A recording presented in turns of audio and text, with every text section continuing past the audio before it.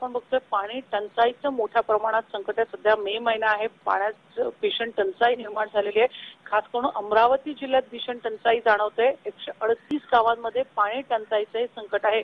अठरा गावांना टँकरनं सध्या पाणी पुरवठा सुरू आहे आणि टंचाई निवारणासाठी एकशे त्रेचाळीस विहिरी सध्या अधिग्रहित करण्यात आलेल्या आहेत.